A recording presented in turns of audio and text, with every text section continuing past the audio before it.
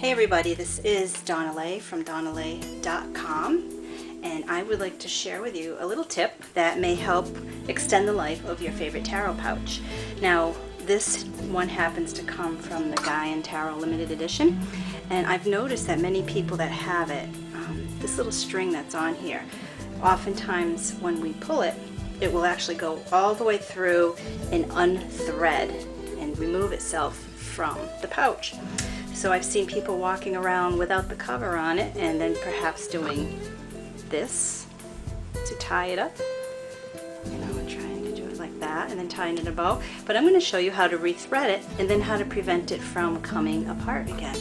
And all it takes is something simple around most households and if not it's easy to get and it's a safety pin. So you just simply put the safety pin through the end of it like that find the opening to the pouch. And there it is right there. You're just going to put it in. It makes it easy then to push it through. And if you have a smaller pouch you may just need to use a smaller pin. And you just kind of work your way through. Now I'm having a little bit of a time getting through this middle piece here where it's sealed do it because I've done it before there. You just got to kind of find your way past the seam. Alright. And you'll see in a matter of maybe a few seconds I am back to the beginning. Comes out the other side. And voila we can remove the pin. And it's as good as new. Now it might be aggravating that it keeps falling through, so there's a couple things you can do. And what you want to do is take note of the size of the opening. And there's lots of things available to you. Now some things may be free. If you happen to be living near the ocean, you could use shells because they come automatically sometimes from wear and tear from the waves. A little hole, so you could tie it to the end of your rope right here just a little knot or any kind of knot, double knot that you want. And that way it will never be able to fall through again. And you can still tie it any way you want. Want it even to be prettier, I happen to like pretty beads.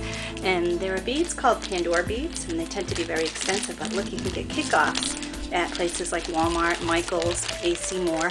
And what's nice is the hole of the bead is quite large. So ribbons can go right through it. And you can put a few on if you want to really jazz it up and make it look nice but you just basically put your beads near the end or you can put several of them on. You can put um, a little knot around the last one so that the beads won't fall off. Okay, and then let's see, I'm just going to put two beads on this one and then I'll put a double knot on the last one. Here we have a couple beads on the end and you can see now it won't be able to go back through the hole if I pull it because the bead is too big to make it through.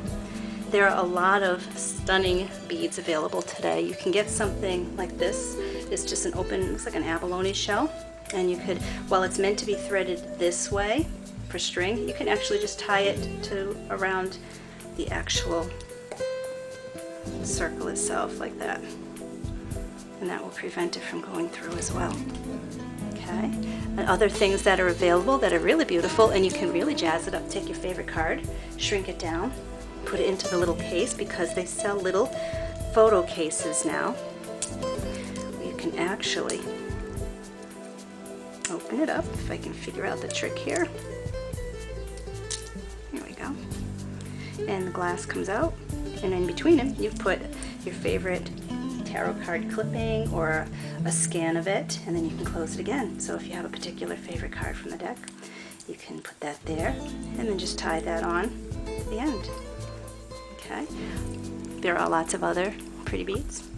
Okay, so you can get little charms, and these are only a couple dollars. Here's another one that could go at the end, and you can put again your favorite. You can put your own picture in there. You can put your pet's picture in there, your your child's picture in there, and of course, on eBay I found a lot of nice things that you can get jade beads and really go crazy. But the trick is just to make sure that the hole in the bead is large enough to accommodate the ribbon. And that's it. And so now,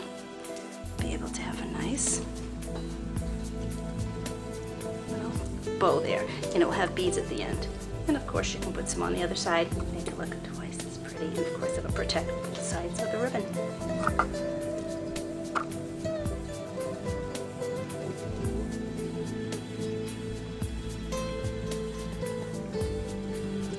I'm to put a little silver thing in the middle to make it it's got some jewels.